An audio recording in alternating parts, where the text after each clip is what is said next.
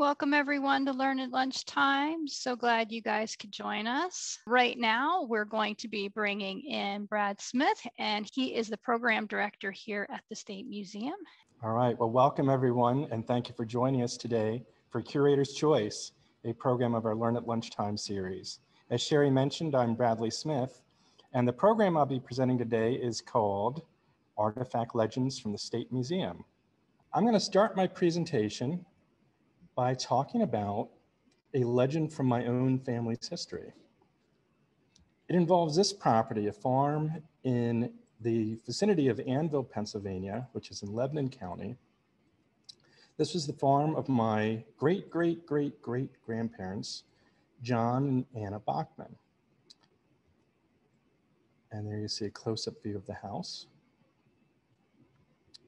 And this is my grandmother, Rosanna Hitz, and when I was a boy, she told me a fascinating story about this property.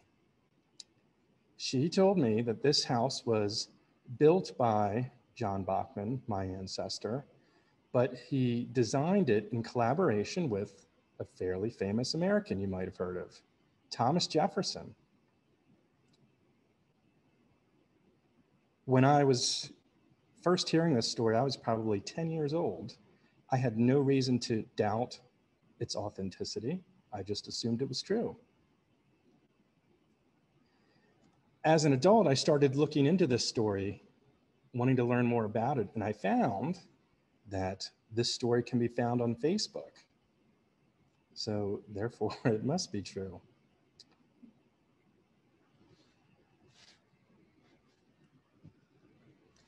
what I did find interesting however, is that um,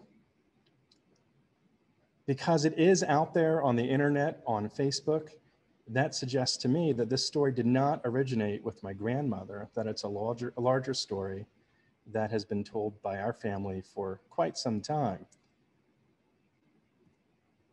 But I wanted to find more documentation. As much as I trusted our family's history and uh, as much as I trusted my grandmother, my feeling was that I needed to find some sort of documentation to, to verify this story. So I went to one of my favorite websites, Founders Online. I have the website address there. It's an excellent website. And as you see highlighted, it contains over 181,000 searchable documents related to the founding fathers. And I went into the Thomas Jefferson files, and you'll see there between digital records received by Jefferson and sent by Jefferson, this website has almost 47, uh, over 47,000 digital documents that one can search through a searchable database. So I thought if the story is true, if Thomas Jefferson really did design this house in collaboration with my ancestor, John Bachman, there should be some sort of surviving correspondence, a letter, a reference in a diary, something. But of those 47,000 Thomas Jefferson documents, there's not a single mention of the Bachman family. And there's really only one mention of Annville, Pennsylvania, and it is completely unrelated to my family. So this cast considerable doubt on the story. On top of that, the story kind of fails a basic logic test. Jefferson became president in uh, the early 1800s, shortly after the capital had moved to Washington, D.C. This house was supposedly built in 1813 a few years, about four years after Jefferson had retired and was living in Mount Vernon. It just does not quite hold up to logic that Jefferson from Washington, D.C., or from Mount, or I'm sorry, Monticello, not Mount Vernon, uh, from Washington, D.C., or from Monticello, it doesn't make sense that he would be interacting with this Pennsylvania German family from the hinterlands of Lebanon County, Pennsylvania. So I hate to say it, but the verdict is this story is probably false. Now you might be wondering, how does this connect to the State Museum? It connects to the State Museum because we apply this same type of logic with our history collections. And just a few notes on the history collections. We have over 150,000 objects in our history collections alone. That doesn't even include sciences and archaeology. Each one of these objects potentially has a story to tell, but we feel it's important for us to tell accurate stories. The reason we feel this is, is validated by research that's been happening today. For example, here's the, the results of one research study, which found that museums are considered the most trustworthy source of information in America, rated higher than local newspapers, the US government, and academic researchers. Another study found that museums are considered a more reliable source of historical information than books, teachers, or even personal accounts by relatives. As I read these quotes, I feel strengthened in the conviction that as a museum, it's very important for us to get the story right, to really dig into primary documents, to do appropriate research, to not just accept artifact legends as fact. So with that in mind, I'm going to talk today about a few of my favorite artifact legends. The first one is the legend of Augustus Kyle's drum. Augustus Kyle was a man from Newville, Cumberland County, Pennsylvania, and uh, this drum was allegedly used by him in the Civil War. One of the first things I do when I'm looking at the veracity of an artifact legend is I look at the chain of custody. Has the artifact stayed within one family or has it been passed around from owner to owner to owner? The tighter that chain of custody, the more likely it is that stories associated with it are true. And fortunately for Augustus Kyle's drum, we have a very nice chain of custody. It was donated to the State Museum by his great granddaughter. So that's a very good sign. That's something we like to see. Also, records show, government records show that Augustus Kyle was indeed a drummer with first the 130th Pennsylvania Volunteer Infantry and then the 187th Pennsylvania.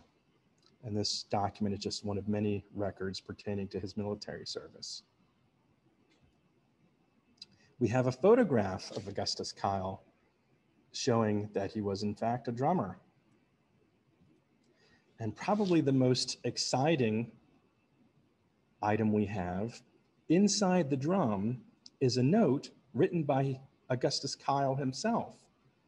And it says, quote, this drum was carried by A.G. Kyle of the Fighting 130th Regiment PA Volunteers Infantry in my first enlistment during the War of the Great Rebellion. So the verdict with this legend is absolutely true. I have to admit, I picked this one on purpose because it's a nice, well-documented artifact. This is often not the case. Next one I'd like to talk about is the legend of George Washington's hair, part one. When I say part one, we actually have two separate locks of George Washington's hair with completely separate histories. The first one here came to the State Museum from Valley Forge Historic Site. And we know that Valley Forge received it sometime before 1902 from a woman named Ellen Sergeant who lived in Philadelphia.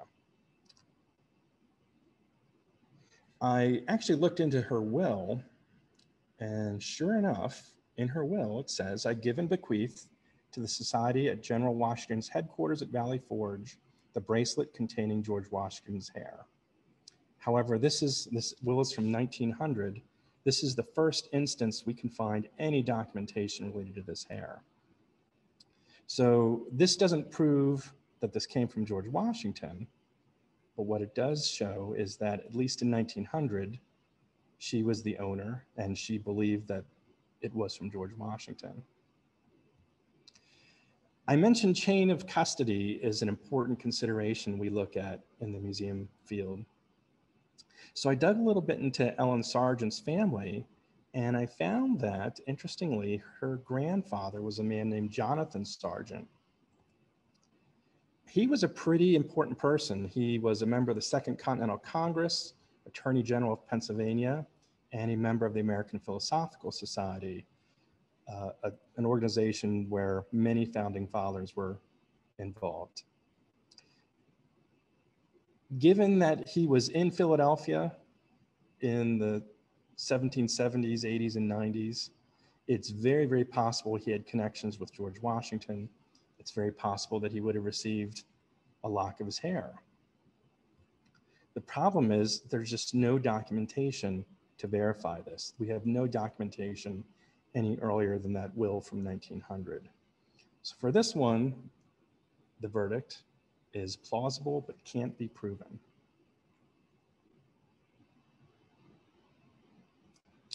Now we have another lock of George Washington's hair. This one is a, a, slightly different story. This came to us from a man named Elbridge McConkie who donated it to the Commonwealth of Pennsylvania in 1875. He received it from his father, David McConkie, and David McConkie received it from a man named Robert Westcott in 1844.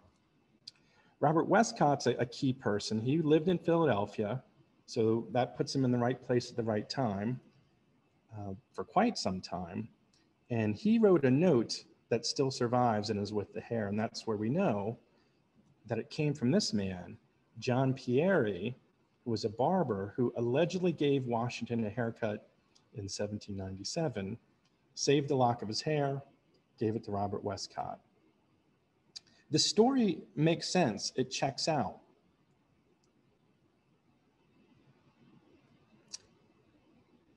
But actually, I'm going to just say remember that name, John Pieri, however.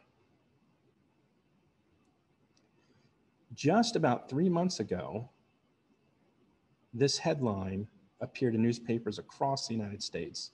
Lock of George Washington's hair sells for almost $40,000.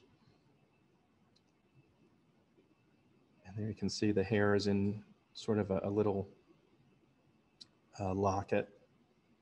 With that locket was a note. And sure enough, the note says General Washington's hair cut from his head in the year 1799 by Mr. John Pieri of Philadelphia. So here we have another example of hair cut by John Pieri. John Pieri and his father were both well-known barbers. And interestingly, locks of hair from George Washington attributed to these two barbers have been appearing all over the place. The Library Company of Philadelphia has one, the Historical Society of Pennsylvania has one, and then the State Museum has one. Now, if we go back to this chain of custody, this all makes sense. It's the right people in the right places at the right time with a clean custody trail. But this whole legend is based on one key thing which we can't know for certain. It's a true story if John Pieri was being honest. You might wonder, well, why would he be dishonest?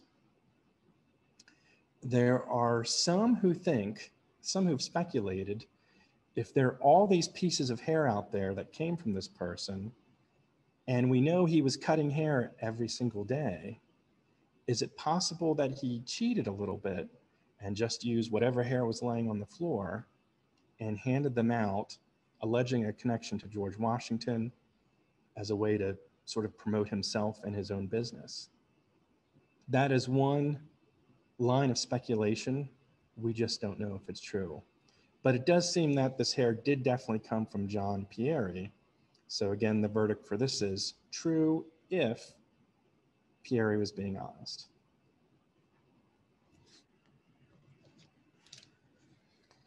Next item I'm going to talk about is the Gettysburg flag.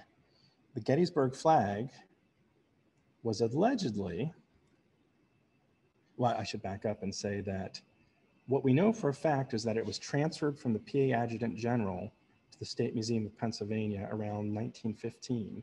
Yes, we were around even back then. So that's a key piece of information to remember. But uh, what's really special about this flag is that allegedly this was on display the day that Lincoln gave his Gettysburg Address in November 1863. The Gettysburg Address, considered by many to be one of the most important speeches in United States history.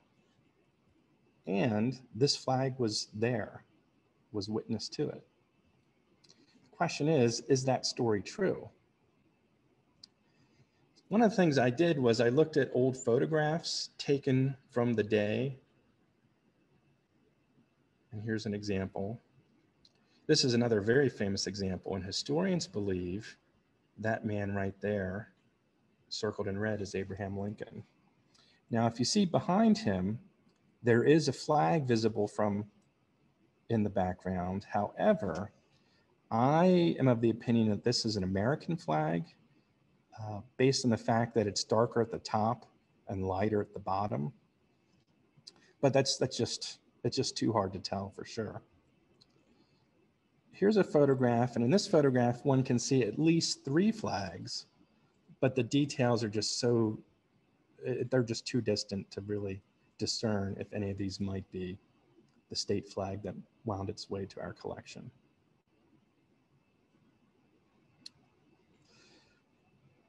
I next looked into a story that the flag might have been on display at the Great Central Fair of the United States Sanitary Commission, which was in Philadelphia in June 1864. And the reason we think this was the case, well, here's a photo actually showing some of the displays at the fair. We know for a fact there were many flags, many items, thousands and thousands of items on display at this fair.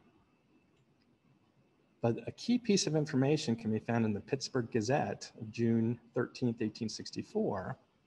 And it's talking about a display of flags at the fair. It says, upon its left is the now historical blue silk flag displayed at the dedication of the National Cemetery at Gettysburg.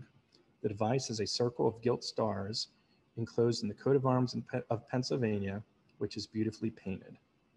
So that sounds like a pretty credible story, especially considering that's less than one year after Lincoln's Gettysburg Address.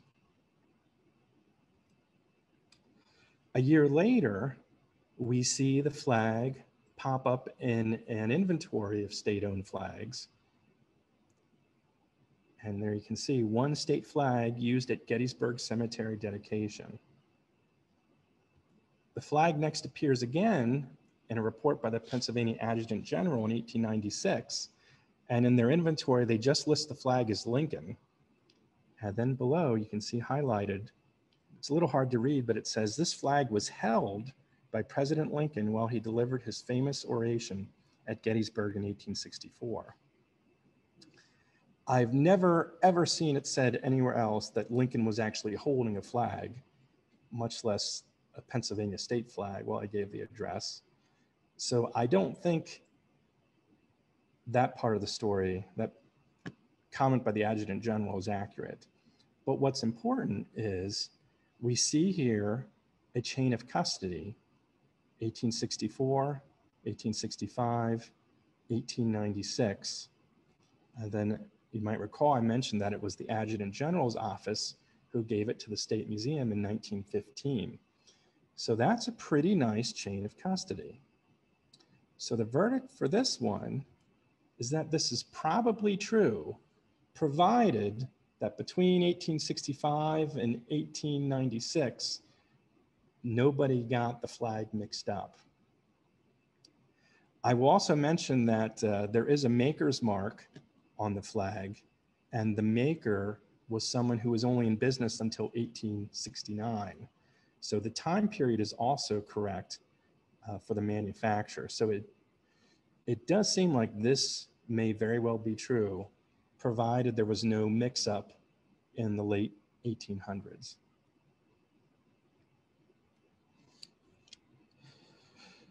The fourth and final legend I want to talk about is Conrad Weiser's spoon. Now, this spoon actually is technically a part of the State Museum's collection, but it's currently on loan at the Conrad Weiser Homestead in Womelsdorf, Pennsylvania. We don't know too much about it, except that it was donated by a Mrs. S.F. Weiser, Pottsville, who was an alleged descendant on an unknown date that's uh, I haven't looked into that too much, but that's at least a start, but a, a little bit vague. If this is true, this is very significant. Conrad Weiser, and incidentally, this is a, a drawing done of Conrad Weiser in the 1800s. There are no contemporary images of, of Conrad Weiser. This one was done in the 1800s. And, um, but um, if this is true, if this spoon actually belonged to Conrad Weiser, it's significant because he was an extremely important part of early Pennsylvania history and someone for whom there are just not many surviving artifacts. I looked into Conrad Weiser's estate inventory, and sure enough, it does list 14 large silver spoons were in his possession at the time he died in 1760. It doesn't mean that our spoon is one of those 14, but it's possible. Something else interesting, however, is that two other similar spoons have popped up, both with alleged connections to Conrad Weiser. One is at the Lutheran Archives in Philadelphia, the other is at the Berks History Center in Reading, Pennsylvania. All three of these Conrad Weiser spoons the one in our collection, the one in Reading, and the one in Philadelphia, have this marking on the back. And one has to wonder, are these the initials of Conrad Weiser, CW, and his wife, Anna Eve Weiser, AEW? I believe they are. Also, now, I, I, fortunately, I don't have a very good photo of this, but the spoons, all three of the spoons also have the maker's mark of a very famous Philadelphia silversmith Philip Syng.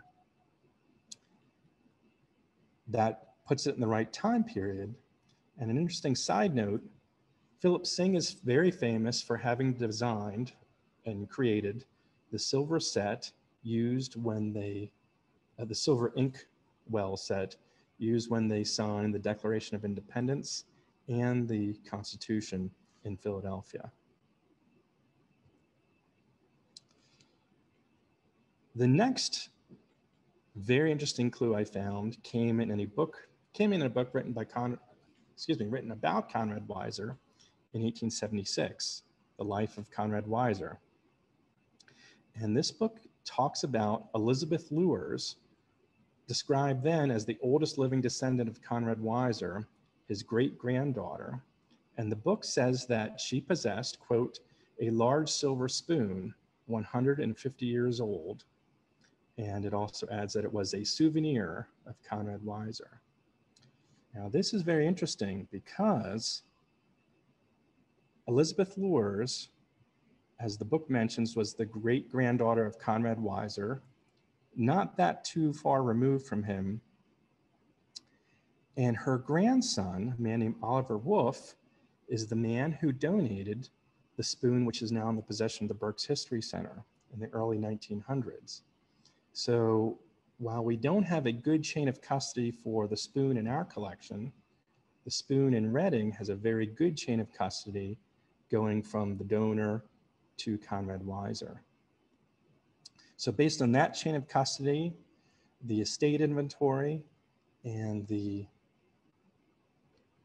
the initials on the spoon, uh, on each of the spoons, I think this one is true.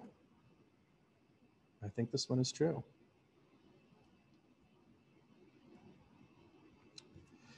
So in conclusion, you, you might be wondering, why do all this research? We are digging and digging and digging just to be able to say, yes, it's probably true, or no, it's unlikely. As I mentioned at the beginning of my talk, accurate information is very important to museums. It's important to the State Museum. And uh, I'm inspired by the words of David Skorton, Secretary of the Smithsonian, when he said the following The trustworthiness of information is based on the perceived trustworthiness of the source. Since our founding, this nation has consistently placed that trust in its museums and libraries. Even today, libraries and museums are considered honest purveyors of information. So, in that spirit, we at the State Museum are always going to try and thoroughly research our artifacts so that we can share the most accurate stories possible with the public.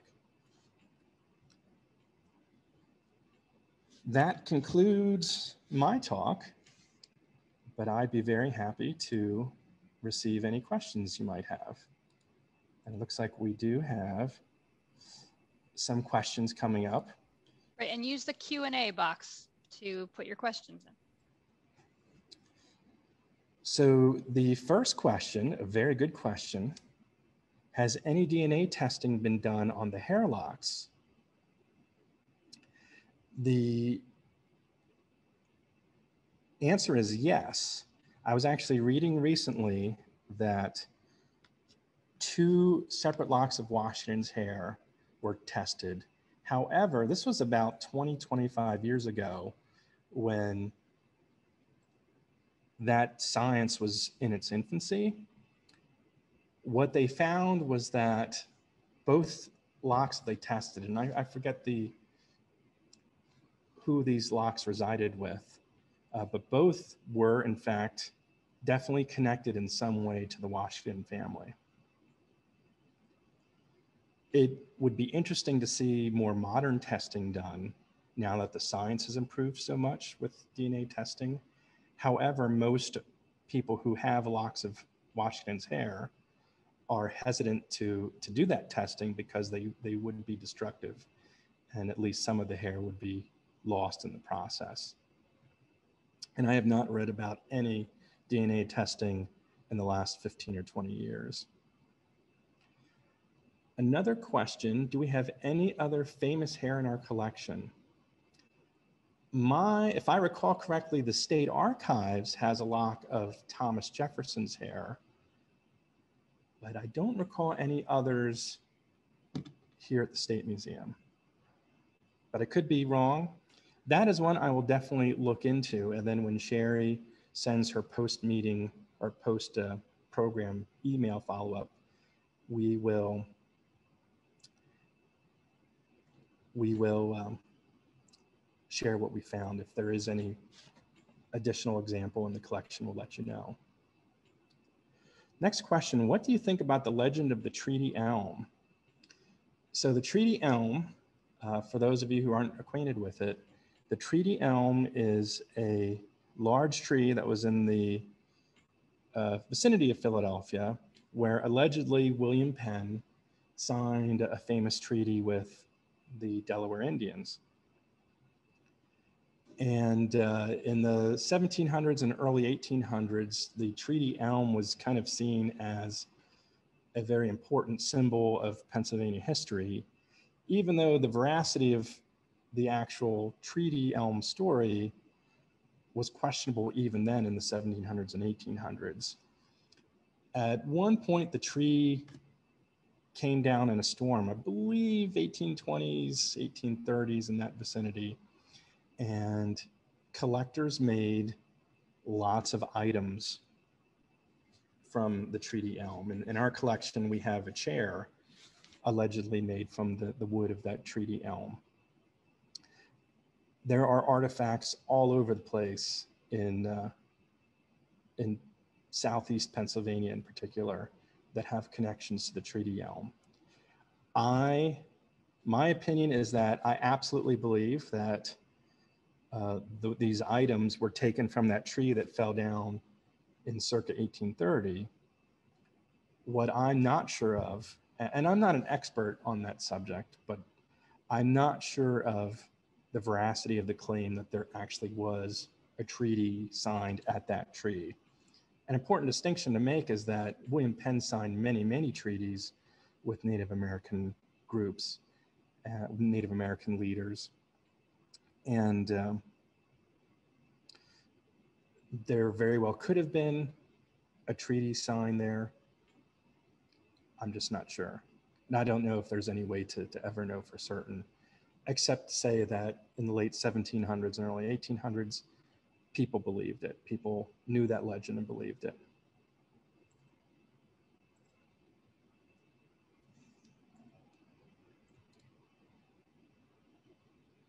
So I don't see any other questions. So if that's it for questions, Sherry, maybe I'll turn it over to you for some closing comments.